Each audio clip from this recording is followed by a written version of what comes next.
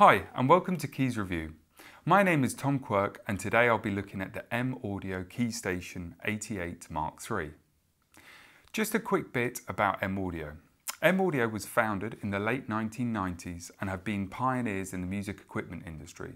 They also make some great audio interfaces, monitors, and microphones. And I thought I'd just let you know about this in case you're building a home studio. Okay, let's take a closer look at the KeyStation 88 Mark III. And after, I'll come back to you with my final thoughts and conclusion to this keyboard. At this point, I think it's worth mentioning that I'm using Keyscape by Spectrasonics, and that's triggering the sounds that you're hearing today, as this keyboard has no sounds.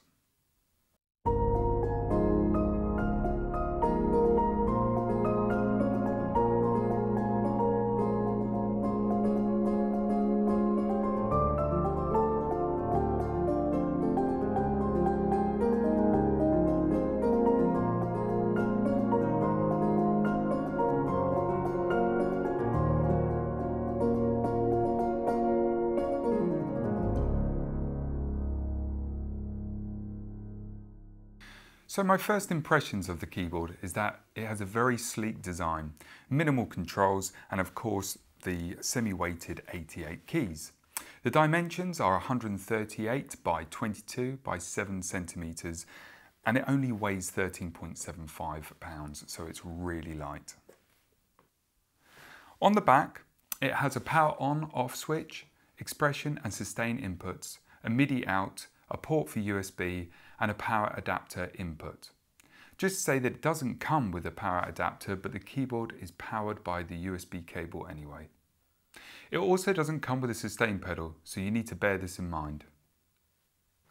On the top, we have a volume fader, directional buttons for easy control when using with music software, as well as a mod wheel and a pitch bend. There is no need to download any drivers for this keyboard. It's as simple as just plug in and play via USB cable as it automatically syncs up with your PC or Mac. This can also be used with an iOS device via an Apple USB to camera adapter, but this is sold separately. Okay, so let's talk about the keys. I've got to say it's taken a while to get used to them.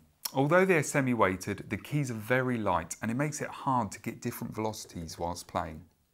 I've also found that the keys are slightly shorter than you'd find on an acoustic piano. And this can make it quite tricky when you're doing some really fast and intricate runs. There is also a very funny sound when you're pressing on the keys, a clicky sound. Dare I say it, it sounds a little bit cheap. But having said this, I wouldn't go out and use this for gigging. It's absolutely perfect for the music studios and getting your ideas into music programs.